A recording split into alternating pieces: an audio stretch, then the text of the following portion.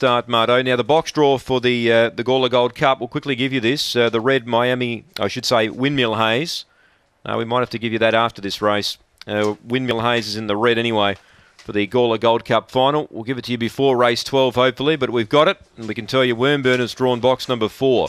This is race 11, though, Gawler. They're set to run. Ready, and away, Pearl Cape began okay. Speed out wide here. I'm Zoolander's going to get over and lead. Second was Spring Addo. Now third.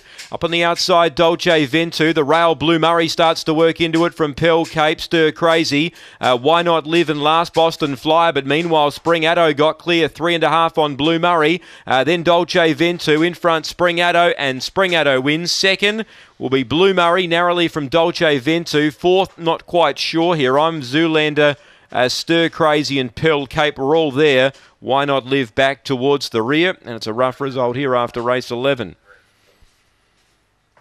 So Spring Addo. Greg Board got over the lead. 22.99 the time. $19.80 on the UBET tote. Blowout. One second Blue Murray. And six gets third. And that's Dolce Ventu. Three fourths Stir Crazy.